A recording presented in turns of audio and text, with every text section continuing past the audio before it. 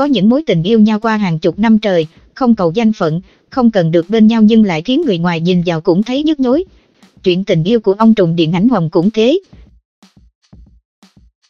Đường đường là thiếu gia nhưng chấp nhận để bạn nhường câu người yêu hơn đến 5 tuổi. Thiệu Giật Phu sinh năm 1907 ở Ninh Ba, là con thứ sáu trong một gia đình giàu có. Từ nhỏ, Thiệu Thiếu Gia đã rất tài giỏi, thông minh và hứng thú với phim ảnh. Ước mơ của anh là được trở thành một nhà làm phim. Năm 1926, Thiệu Giật Phu cùng anh trai Thiệu Nhân Mai đến Singapore bắt đầu bước chân vào ngành công nghiệp điện ảnh. Vài năm sau, họ trở nên nổi tiếng. Thời gian đó, vị đại gia giàu có nhất Singapore Dư Đông Tuyền rất ngưỡng mộ hai anh em họ Thiệu và mời đến nhà chơi. Tại đây, đại gia này đứng chờ cùng một cô gái xinh đẹp, mặc giấy trắng thanh lịch rồi giới thiệu, đây là tiểu thư Quỳnh Mỹ Trân. Thiệu giật phu khi còn trẻ. Ngay sau đó, Quỳnh Mỹ Trân và Thiệu giật phu ra ngoài giường qua dạo chơi. Cả hai người trẻ tuổi nói nhiều về phim ảnh. Thiệu giật phu ngay lập tức bị cô gái trẻ xinh đẹp cuốn hút. Thời gian sau, hai anh em thành lập Thiệu Thị huynh đệ ở Singapore. Được anh trai giao cho việc quản lý, Thiệu Giật Phu đưa ra các kế hoạch táo bạo. Quỳnh Mỹ Trân khi đó mê mệt thiếu gia nhà họ Thiệu gì tài năng, dám nghĩ, dám làm. Cô thường đến công ty để chơi và tặng quà cho nhân viên. Khi có khó khăn, nàng tiểu thư cùng Thiệu Giật Phu giải quyết. Trái tim cả hai ngày càng xích lại gần nhau hơn. Tuy nhiên, Quỳnh tiểu thư khi đó là bạn gái của Dư Đông Tuyền và hơn Thiệu Giật Phu đến tận 5 tuổi. Khi nghe những lời đồn đại về mối quan hệ của họ, vị đại gia Singapore cười, Mỹ Trân thích phim, giật phu lại đang hiểu về phim, không có gì đâu. Thời gian sau, Thiệu Giật Phu lấy hết can đảm đến thú nhận với Dư Đông Tuyền chuyện cùng Quỳnh Mỹ Trân yêu nhau. Khi đó, vị đại gia trả lời, tôi biết điều đó, cậu đẹp trai, lịch lãm. Nếu cả hai yêu nhau thì hãy tiến đến, đừng quá để ý đến tôi. Quỳnh Mỹ Trân khi còn trẻ, Năm 1937, Thiệu Giật Phu kết hôn với Quỳnh Mỹ Trân tại Singapore. Khi đó, Dư Đông Tuyền còn gửi quà cưới trị giá đến 500.000 chúc mừng. Mỗi lần nghĩ đến vị đại gia này, cậu sáu nhà họ Thiệu lại rơi nước mắt và biết ơn vô cùng sự hào phóng, nhân hậu. Cặp vợ chồng hơn nhau 5 tuổi cùng trải qua nhiều thăng trầm và bước ngoặt của cuộc đời. Quỳnh Mỹ Trân sinh cho chồng bốn người con. Tình yêu, sự hy sinh của bà khiến ông Thiệu chẳng bao giờ quên. Ngay cả sau này, xung quanh ông đầy ưng bướng nhưng vị trí bà Thiệu không thể lung lay. Thiệu giật phu và vợ cùng con gái. Chuyện tình huyền thoại suốt 45 năm, đến cuối đời mới cần danh phận. Thời bấy giờ, Phương Nhật Hoa là một nữ ca sĩ nổi tiếng với gương mặt xinh đẹp. Bà sinh năm 1934 và sớm bước chân vào làng giải trí nhờ người mẹ là ngôi sao của đoàn múa Thượng Hải. Năm 1952, nữ ca sĩ biểu diễn ở một hộp đêm tại Singapore. Khu vui chơi này nằm tầng trên rạp phim nhà họ Thiệu. Khi sắp rời đi, Thiệu Giật Phu quyết định nán lại vì nghe người dẫn chương trình giới thiệu Phương Giật qua sắp biểu diễn. Thích thú giọng hát của cô ca sĩ trẻ tuổi, ông chủ Thiệu tặng một bó hoa. Sau buổi biểu diễn, Phương Giật qua mặc một chiếc sườn xám thanh lịch xuống để cảm ơn vị khách đặc biệt hai người di chuyển đến một nhà hàng yên tĩnh và ăn nhẹ. Biết được nữ ca sĩ cũng đến từ Thượng Hải, Thiệu Giật Phu càng cảm thấy thân thiết hơn. Kể từ đó, họ kết thành mối tâm giao.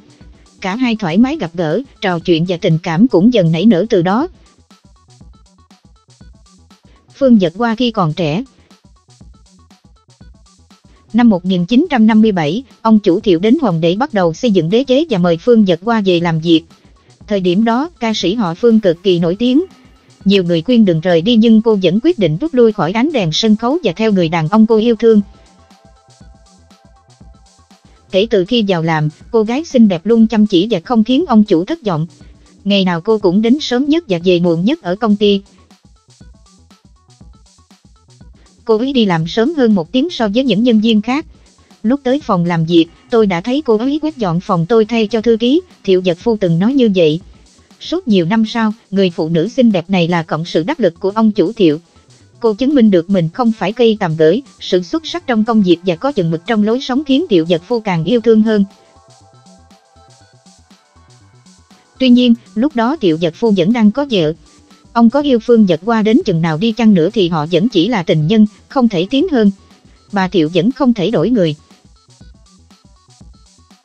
Phương Giật qua thấu hiểu và từng nói rằng, chuyện họ kết hôn hay không cũng không quan trọng. Được kề dây sát cánh với nhau mới là điều đáng quý nhất. Suốt hàng chục năm bên nhau, họ luôn đồng hành trong mọi công việc, tình cảm có lớn mấy cũng giấu trong lòng bởi chúng ta chỉ là những người đến sau đời nhau. Chẳng có ai ngoài Phương Giật qua khiến Thiệu Giật Phu có thể thoải mái nói về các vấn đề trong công việc lẫn cuộc sống hay những chuyện riêng tư, thầm kín.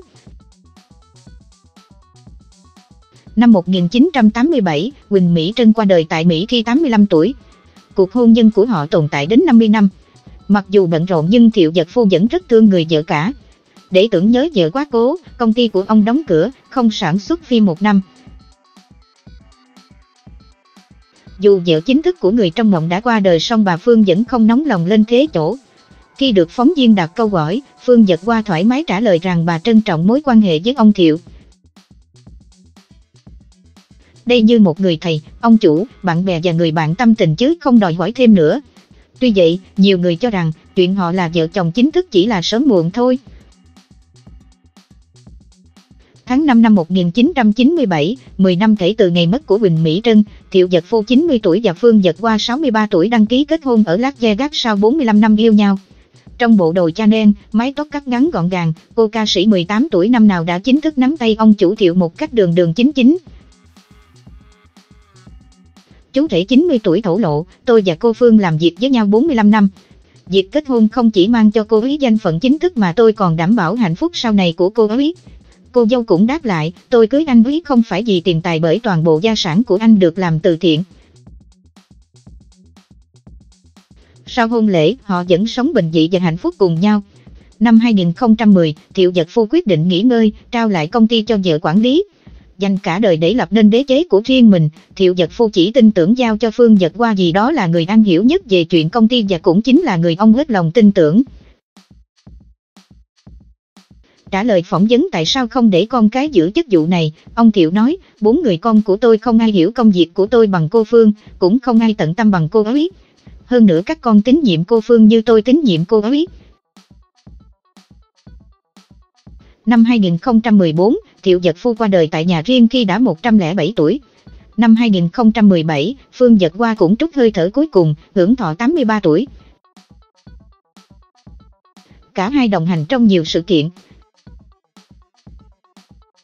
Chuyện tình yêu của Thiệu Giật Phu được nhiều tờ báo gọi là huyền thoại. Cuộc đời ông có hai mối tình sâu đậm nhất với huỳnh Mỹ Trân và Phương Giật Qua. Việc cư xử đúng mực, tôn trọng dành cho cả hai người phụ nữ là điều người ta khâm phục nhất ở ông. Trải qua bao nhiêu năm, chuyện yêu của ông Thiệu và bà Thiệu thứ hai vẫn nhận về nhiều ý kiến trái chiều.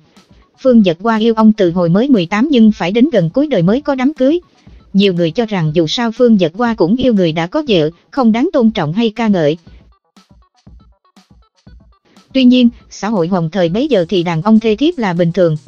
Cái người ta khâm phục chính là sự hết lòng với tình yêu của bà, không bao giờ đi quá giới hạn và chỉ âm thầm bên người đàn ông quý như tri kỷ. Nguồn, Sina